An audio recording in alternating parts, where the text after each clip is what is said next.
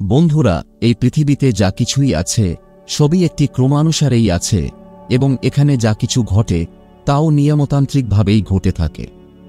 ঠিক যেমন একজন মানুষ শৈশব থেকে সরাসরি বার্ধক্যে পৌঁছায় না, বা জন্ম থেকে সরাসরি মৃত্যু পর্যন্ত যান না। কৈশোর, যৌবন এবং তারপর মধ্যবয়স, বার্ধক্য এবং শেষ পর্যন্ত একজন মানুষের মৃত্যু অর্জিত হয়। আর ঠিক একইভাবে কোনো মানুষ একদিনেই আধ্যাত্মিক উন্নতির শিখরে পৌঁছাতে পারে না। আধ্যাত্মিকতার উচ্চ স্তরে পৌঁছাতে হলে আমাদের অনেক ধাপ বা অবস্থার মধ্য দিয়ে যেতে হয়।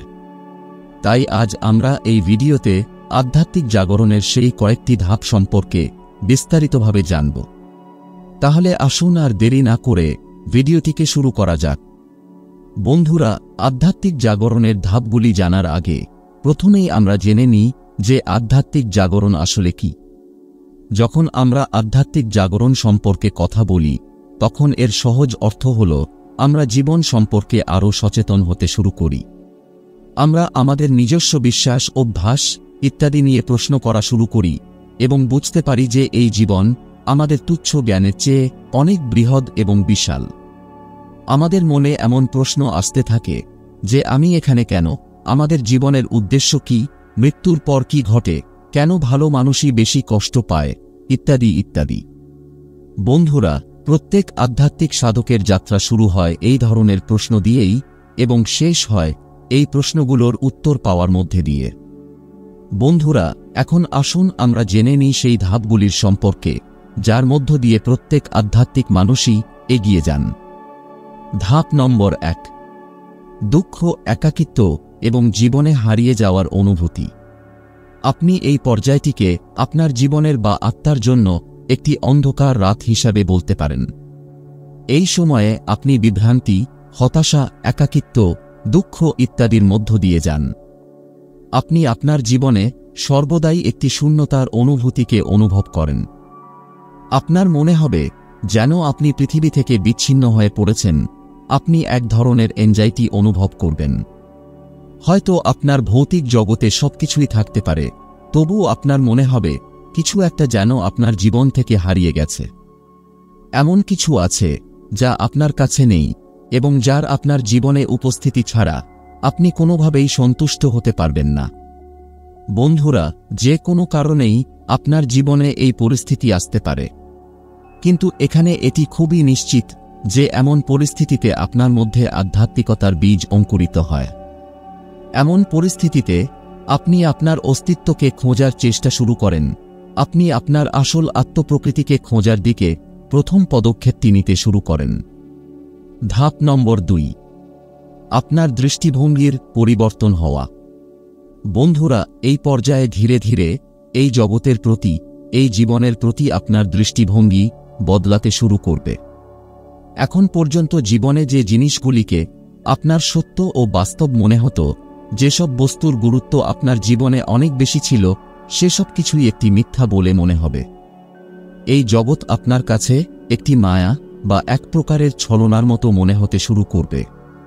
আপনি নিজেই অনুভব করতে শুরু করবেন যে আপনার ভিতরে কিছু পরিবর্তন ঘটছে, যা আপনার চিন্তাভাবনা এবং কোনো কিছুকে বোঝার উপরও প্রভাব ফেলবে। তবে আপনার জীবন কোন দিকে যাচ্ছে বা আপনার জীবনের আসল উদ্দেশ্য কি তা বোঝা আপনার পক্ষে এখনও কঠিন হবে। ধাপ নম্বর তিন। আপনার মনে কিছু প্রশ্ন উঠতে শুরু করবে। বন্ধুরা, জীবনের এই ধাপে পৌঁছতে গিয়ে আপনারা নিশ্চয়ই অনেক কষ্ট পেয়ে থাকবেন এবং এই দুঃখ কষ্টের ফলাফল হিসাবে আপনার মনে কিছু প্রশ্নের উদ্ভব হবে। যেমন, আমার জীবনের উদ্দেশ্য কি? আমি এই জগতে কেন আছি? আমার জন্ম কেন হয়েছে? সর্বোপরি মনুষ্য জীবনে সুখের উপায় কি বা এই ধরনের আরও কিছু প্রশ্ন। বন্ধুরা, এই ধরনের প্রশ্ন আপনার মন মস্তিষ্কে পূর্ণ হয়ে উঠবে এবং এগুলির উত্তর পেতে আপনি অস্থির হয়ে উঠবেন। এবং এই অনুরূপ পরিস্থিতিতেই আমাদের চতুর্থ পর্যায়ে বা ধাপটি শুরু হয়। আপনার সমস্ত প্রশ্নের উত্তর পাওয়া, অর্থাৎ আধ্যাত্মিক জীবনের এই ধাপে বিভিন্ন প্রক্রিয়ার মাধ্যমে এখন আপনি আপনার সমস্ত প্রশ্নের উত্তর পেতে শুরু করবেন। এই সময় এটা খুবই সম্ভব যে আপনার জীবনে এমন কিছু আসতে পারে, যেমন একটি বই পাওয়া যেতে পারে বা এমন একজন ব্যক্তি আসতে পারে যে আপনাকে বুঝবে, আপনার প্রশ্নের উত্তর দেবে এবং আপনার কৌতূহলকে সমাধান করবে। আর সেই সাথে আপনি তার সাথে অনেক খুশি এবং আনন্দ বোধ করবেন। যদিও আপনি হয়তো মাত্র দুদিন আগেই সেই ব্যক্তির সাথে দেখা করেছেন কিন্তু আপনি অনুভব করবেন, যেন আপনি তাকে বছরের পর বছর ধরে চেনেন। বন্ধুরা, আমার জীবনেও এমন একটি সময় এসেছিল, যখন আমি অনেক লোকের সাথে দেখা করেছি, যারা আমাকে আধ্যাত্মিক জীবনে পথ প্রদর্শন করেছিলেন। তাদের মধ্যে এমনও একজন আছেন, যার সাহায্যের কারণে আজ আমি ইউটিউবে আসতে পেরেছি, এবং আমি আপনাদের সকল বন্ধুদের সাথে সংযোগ স্থাপন করতে সক্ষম হতে পেরেছি।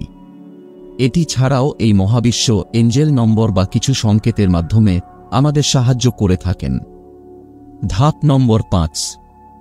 ভৌতিক জগতের সমস্ত মোহ মায়া ভেঙে যাওয়া বা বাস্তবতার দিকে অগ্রসর হওয়া।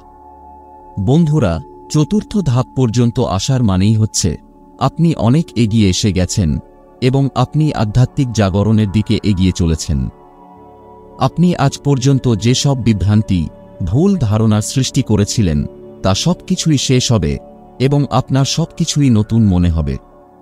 আপনি আপনার পুরানো বন্ধু, কম ফ্রিকোয়েন্সি সহ লোকেরা, বা যাদের ফ্রিকোয়েন্সি আপনার সাথে মেলে না, তাদের থেকে দূরে সরে যেতে শুরু করেন। এছাড়াও আপনি এখন মনে করেন যে আপনাকে নিজের উপর কাজ করতে হবে, আপনি নিজেকে আরও উন্নত করার চেষ্টা করেন। কিন্তু বন্ধুরা, ঠিক এখানেই আসে আমাদের ধাপ নম্বর ছয়। আবার হারিয়ে যাওয়ার অনুভূতি মানে আবার জীবনে হারিয়ে যাওয়া অনুভব করা। বন্ধুরা, এই সময় আপনি আবার নিরুদ্দেশ হয়ে উঠবেন। আপনি সম্পূর্ণরূপে আপনার আধ্যাত্মিক পথ থেকে বিচ্যুত হয়ে পড়েন। এই অবস্থায় আপনার মনে হবে যেন আপনি এই আধ্যাত্মিক জীবন থেকেও বিরক্ত হয়ে উঠছেন। আপনি আপনার পুরানো জীবন, পুরানো অভ্যাস, পুরানো বন্ধুদের ত্যাগ করে আধ্যাত্মিক জীবনের দিকে অগ্রসর হলেন। কিন্তু এখন এই জীবনটিও আপনাকে বিরক্ত করতে শুরু করেছে। বন্ধুরা, এই পর্যায়ে মানুষেরা বুঝতে পারেন না, এর পরবর্তীতে তাদের কি করা উচিত, এবং এমন অনুভূতি হবে, যেন আপনি আবার কোথাও হারিয়ে গেছেন। ধাপ নম্বর সাত। নিজের অন্তরের উপর গভীর কাজ করা। মানে আপনি আপনার আধ্যাত্মিক সচেতনতার উপর কাজ করা শুরু করেন। বন্ধুরা, এই সেই সময় যখন আপনি আবার উঠে দাঁড়ান আপনি নিজেকে অনুপ্রাণিত করেন। আপনি ধ্যানের মাধ্যমে নিজের সাথে পুনরায় সংযোগ করার চেষ্টা করেন। আপনি নিজেকে সুস্থ করেন, আপনি নিজেকে কর্মের বন্ধন থেকে বের করে আনেন। আপনি পুরানো জিনিসগুলিকে ভুলে এগিয়ে যান, যাতে সব বন্ধনকে কাটিয়ে মুক্ত হতে পারেন।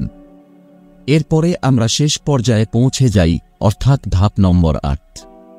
এই ধাপে পৌঁছাতেই আপনি আপনার মধ্যে একজন দ্রষ্টাভাব বা আপনি একজন পর্যবেক্ষক হয়ে উঠবেন।